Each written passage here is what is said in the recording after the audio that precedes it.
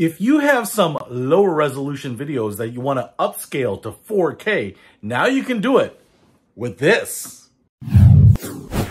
What's happening, Panda Nation? Peter Von Panda here. I have a website up for a company that sells a program that upscales video. It works amazing. I've actually been using it for a while now. And before I show it to you, I wanted to really get to understand it and then give you some of my tips and tricks for making the most of it. But first, let me show you the company that makes this.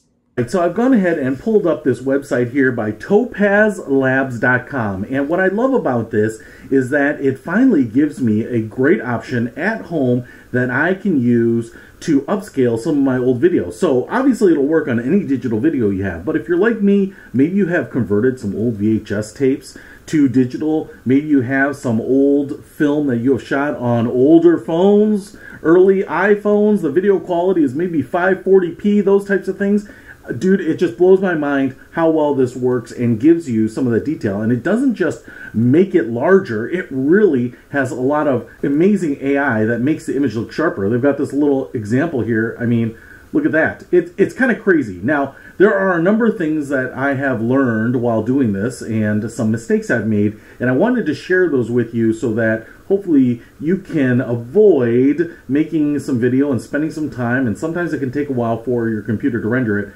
and end up with videos that don't look very good. So, first of all, Topaz Labs has a variety of products here. If I go up to products, I want to show you that they have a number of these Denoise AI, Giga, Gigapixel AI, Sharpen AI. Actually, a lot of really good applications for enhancing photos. So I tell you what, if you are trying to enhance some old photos, I think a lot of us have those. Old photos from weddings, something that you've scanned that is something that works too. I have absolutely played around with those as well. But this is the video that I purchased, and they didn't reach out to me. They didn't give me any software. I actually was looking for this to upscale uh, just some of my old home movies. Video Enhance AI is the application I'm talking about, and you can buy it here for $200. Now, I will say $200 for a piece of software is not cheap, but after using it, I think it's been worth every penny. So standard def to high def, all right? But like a lot of companies, what I think you can do here is actually download the application right here, try for free, and you can download this and use it for a little while. I don't remember exactly how long the trial was, but that's what I did. And once I experienced it, saw the results, I went ahead and bought it, all right? All right, so I've gone ahead and opened up the application here, and it's pretty basic. But I want to show you, first of all, what you can do is you can just take a video and you can drag it into the screen. You can obviously navigate to it too. So the first thing I have done here is I've actually gone ahead and dragged in a video that was shot of me years ago. And as you can see here, you know, it's uh, pretty low res. I think this is like 540p, so it's not even 720p.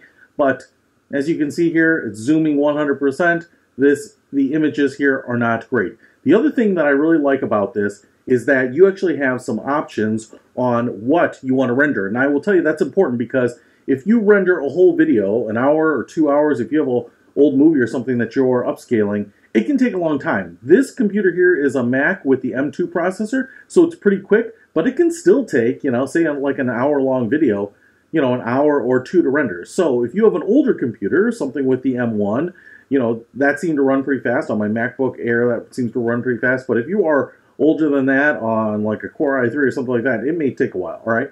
So the first thing I want to show you here is that I can pull this up, and if you just want to render a certain portion of your video, you can do that too. So you can see right here, I'm on frame 1738. I can advance, but let's just say I wanted to start on that and not render all the stuff before. I can just type in 1738 and you can see it goes all the way to uh, 3898. So I'm just going to go ahead here and kind of scrub forward. Okay, so there's a black screen, so I'm just going to back up here and say render to 1828. Obviously, you can render a whole video, but I just want to show you that what it's going to do now is it's only going to render the short piece, and that's going to save you a lot of time.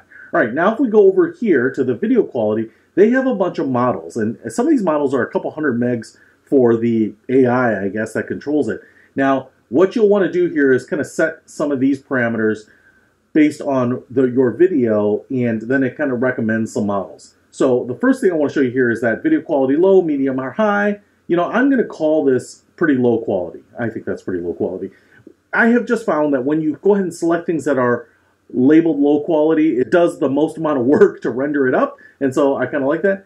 This is the three different types of video you might have. Progressive, where it's kind of scanning, usually top down, and building the image, and then scanning, building the image top down, top down, top down, kind of wiping the image very fast. Your eye usually doesn't see that.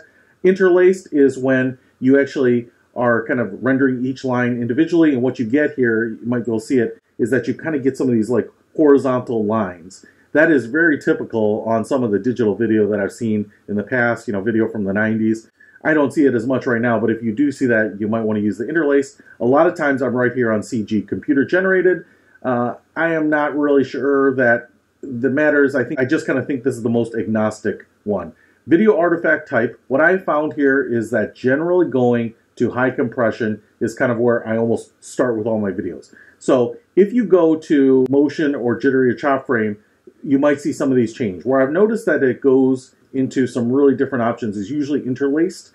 And what you can see here is if I go to high compression, uh, it gives you some interlaced options. So I think what it's trying to do is it's trying to line up those mismatched lines. And so if you don't have those, don't bother with it because many times it's working on those lines and not really doing a great job of upscaling. All right, so I'm going to start with CG low and then artifact type here. I usually go to high compression. You can choose some of the other ones, but I've kind of noticed that the model stayed the same. So for example, high compression shows me uh, Artemis low quality, Proteus and Gaia high graphics. If I go here to uh, blurry, it's probably going to show me pretty much the same ones. The Artemis Alias and Moire. So, you know, kind of the same thing. So I'm just going to go here to high compression.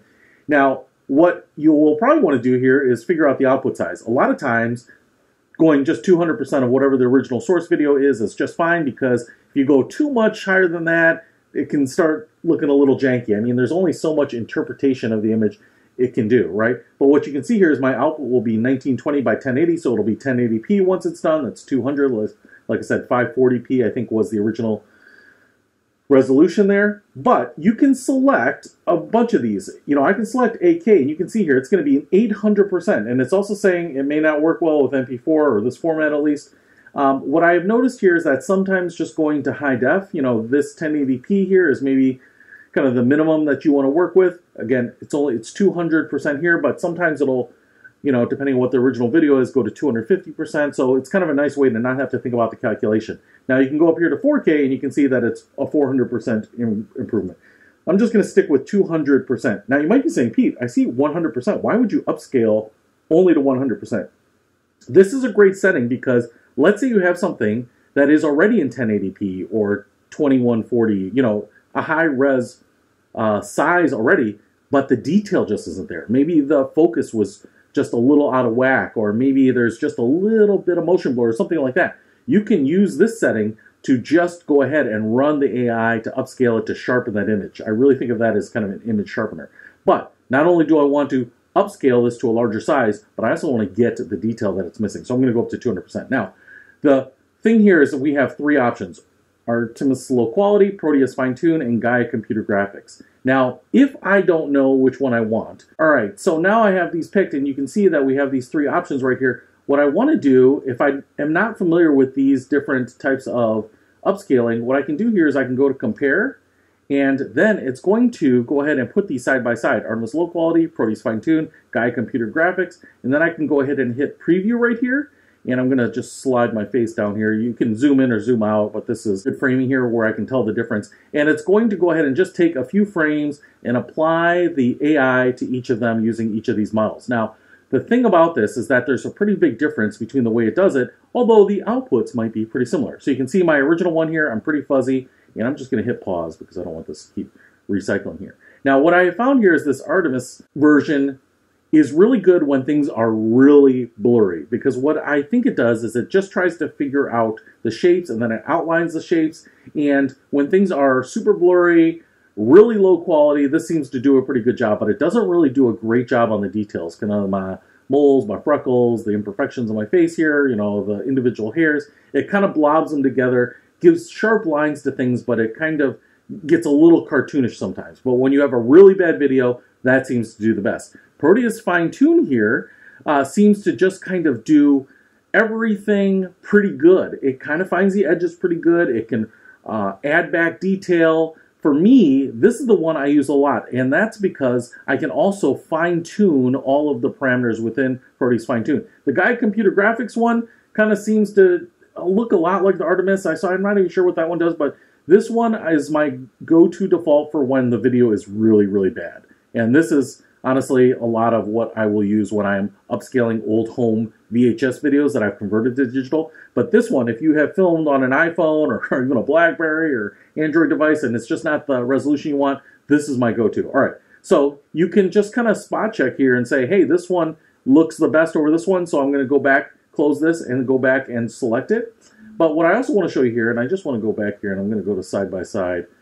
Um, what I want to show you is now that I've selected Proteus Fine Tune, down here, I get all of these model parameters. If I hit this little lightning bolt here, it's analyzing the image and going to come up with the best parameter, all right? And if I just go ahead here and preview it, what it will do is it will show me what these two images look like. As you can see here, this is, you know, not bad, but it's blurry. It's very classic video from 10 years ago. This is much sharper, and obviously it's 200% larger too. So not only is it going to be bigger, but the details are better here. I want to show you here because what I can do here is I can move a lot of these. Revert compression, recover details, sharpen, reduce noise, dehalo, which kind of gets rid of some of those like blur, you know, kind of double upped edges around the face or lines, anti-alias and blur. I'll tell you the two settings that I use the most are sharpen and recover details. Sharpen is kind of like image sharpening. It just kind of makes all those lines crisper. If it finds a line or if it finds a hair or you know, the arm of the glasses, it's going to really sharpen that up. But recover details tends to uh, kind of go in each pixel and say, is there something here and uh, brighten it up. So first of all, I'm just going to put this back here. I want to just go to sharpen and I want to show you, I have raised that up and now you can see, you know, how crisp that line is there.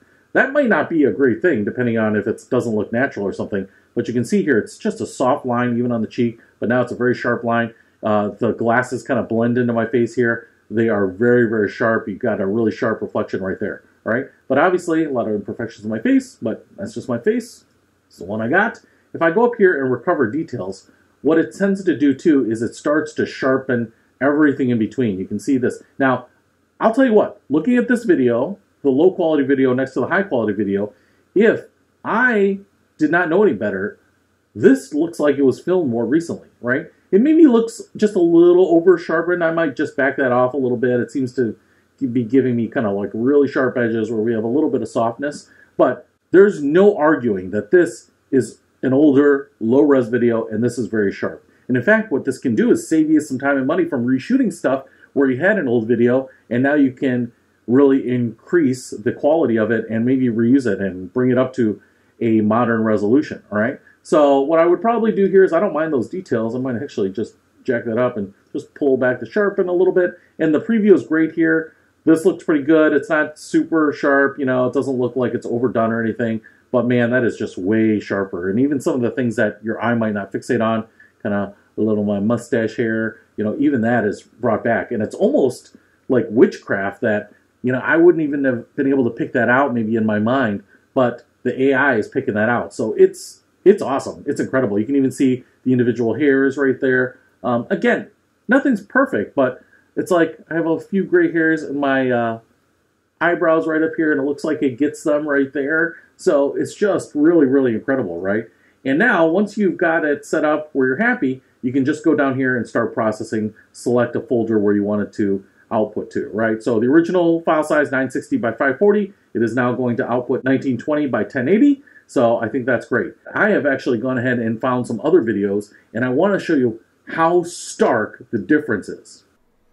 All right, so my first example here is a movie called Deep Star 6. I think this was from the mid 80s. It is an interesting movie. I saw it on Saturday morning one day, so um, even though it was made in the 80s, it was also shown on TV freely in the 80s. But what is interesting about this is that from the 80s, there was only certain resolution. This is not something that was downsampled and then I upsampled it, and so there was data. This is working off of the data that they had here. So you can see on the left side, we have the original film, and then on the right side, I've gone ahead and selected some settings and increased the quality there and upscaled it as you can see and just look at the faces there. I mean, on the left side it looks like classic 80s and then on the right side it is just so sharp. Even her watch there is so sharp. That guy's face, the beard, the headset, everything that he has there is just incredible. Even her hair there is so much sharper. And what I like about this too is that you know, it's kind of doing everything in proportion. Those buttons in the background, which are supposed to be a little bit blurred, like a bokeh effect, aren't just extremely sharp as well. So it does everything in proportion. You know, things that are sharpened twice as much just are all sharpened twice as much as opposed to just sharpening everything to a really fine level or something like that. So I really dig that, all right? Grabbed another video from uh, old movies here, and this one is 10 Inch Hero. I think this was filmed in the 90s, maybe even the late 90s, but again, not a high resolution film. I don't even think that it came out in high resolution or, you know, HD or 1080p or anything like that. But what I did here was kind of the same thing. Look at the sharpness of those plates. Look at the sharpness of the characters behind the counter there. It is just amazing. And if you look into the distance, right, you can see Danneel getting out of a BMW Z3. On the left side, I probably wouldn't even have noticed that, but on the right side, it's sharp enough that I recognize it as a Z3. So it's just pretty amazing. And as she comes into the restaurant here too, I mean, there's no question that it's better. And obviously you'll see those results as it's twice as large too. But even in the distance here, she is so much sharper, right? The characters are so much sharper. I feel like it's easier to watch, honestly, because you see so much more detail. It just feels like a modern movie. Here's another scene with the young Sherlock Holmes guy. I can't remember his name, Sean Patrick Flanery, I think. But, you know, the creases, the wrinkles in his face, man, it just looks incredible. These fireworks just look incredible. In the scene, Danneel is there too, again, and everything about this, you know, is just super sharp. Even the lines in her hair, the plants in the background, that lamp on the table. But if you look at the face of Alice Krige, I believe her name is, just how much sharper that is. That looks like, to me, it was filmed in high resolution, and on the left side, you can tell that it wasn't. You know, and again, the uh, girl in the foreground here is not overly sharpened. She's still a little bit blurred because the focus of the shot is on Alice. And so, you know, you can see that clearly. Even the, the bokeh and the out of focus wall in the back stays that way. So the AI on this is really great for, you know, sharpening up everything. You can see the three girls here and, you know, the faces, the hair, everything just looks like it was filmed this way originally. It's incredible. All right, another shot of the girls in this bus here. You can see exactly what I'm talking about for yourself. You can compare the original to the upscaled footage. To me, it's no contest. It really adds so much detail, so much life back to a video. So whether it's old videos that you have, family videos, things like that, does it work magic on everything? No. If the colors are really washed out, it does struggle a little bit. You can try the Artemis low quality AI model. That seems to work pretty well. But I will tell you what, if you want to save some of those old memories, if you shot video on old iPhones or old Galaxies that just weren't that high resolution, you want to bring them back, I think you will be stunned. Now, like I said, I'm not affiliated with Topaz Labs or anything like that, but I did set up an affiliate account, so I will put a link to them in the description where you can buy that, and I will also put a 15% promo code so that you can get a discount on it because I think that if you have a lot of videos, this is a great way to preserve them. So, I'm a big fan of this. I'm a big fan of the other products. I will show you more of those in the future, but man, this is something that I think really saves the day on so many videos that I would have just loved to have kind of at a modern standard, and this really does it. So, if you want to pick it up, follow the link in the description below. Peter Von Panda, out. We can discover more and explore so much deeper.